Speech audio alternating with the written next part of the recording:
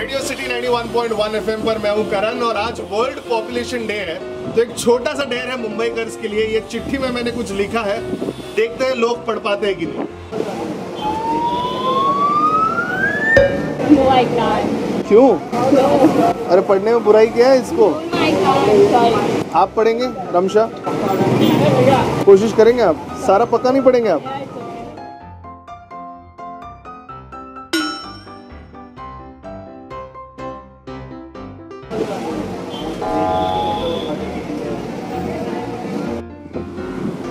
Condom बोलो अभी।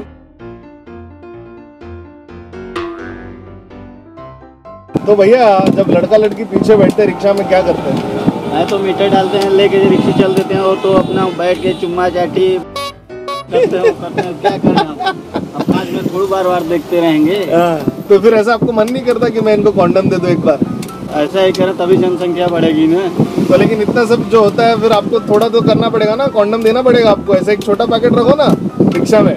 आशीष जी की ये मेडिकल शॉप है ये हमें बताएँगे कि लोग कैसे कॉन्डम मांगते हैं। आशीष जी बताइए कैसे कैसे लोग मांगते हैं? ये चीज़ ना आजकल ओपनली में कोई नहीं बोल पाते। हैं कि हमें कॉन्डम चाहिए करके। हाँ। तो हम लोग को कोई कोई बोलते हैं हमको छतरी चाहिए। कोई अच्छा। कोई सिग्नल हमको देता है कैसा इशारा कर कैसा इशारा कर कैसा इशारा कर कैसा इशारा करता है? हाँ। हम लोग को उसके चेहरे के एक्सप्रेशन से पता चलता है अच्छा। कि कोई इसको क्या चाहिए करके। अच्छा। वो तो उसके मुँह से नहीं बताते कि हमको कॉन्डम चाहिए। अच्छा। तो हमको उनके फीलिंग समझ में आ जाते हैं। अच्छा। और वो एक उसके दिल में घबराहट रहती है। तो हमको देखेगा हम उसी में समझ जाते हैं कि इसको कॉन्डम चाहिए करके।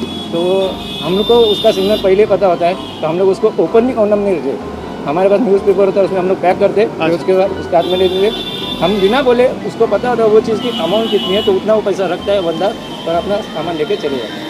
वन टू थ्री पता नहीं यार कॉन्डम मांगने से इतना लोग क्यों डरते हैं?